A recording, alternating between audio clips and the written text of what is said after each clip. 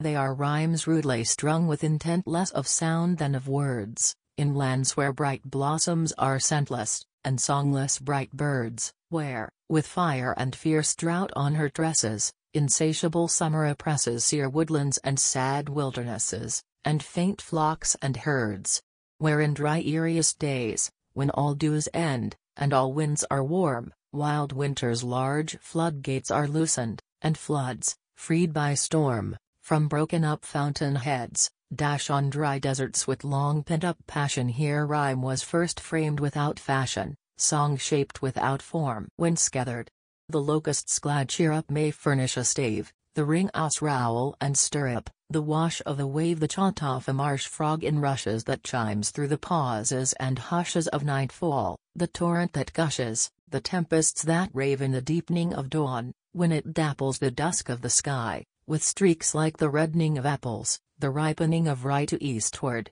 when cluster by cluster, dim stars and dull planets, that muster, wax wan in a world of white luster that spreads far and high. In the gathering of night gloom o'erhead, in the still silent change, all fire flushed when forest trees redden on slopes of the range when the gnarled knotted trunks eucalyptian seemed carved like weird columns Egyptian with curious device quaint inscription, and hieroglyph strange. In the spring, when the wattle gold trembles twixt shadow and shine, when each dew-laden air draught resembles a long draught of wine, when the skyline's blue burnished resistance makes deeper the dreamiest distance, some song in all hearts hath existence, such songs have been mine.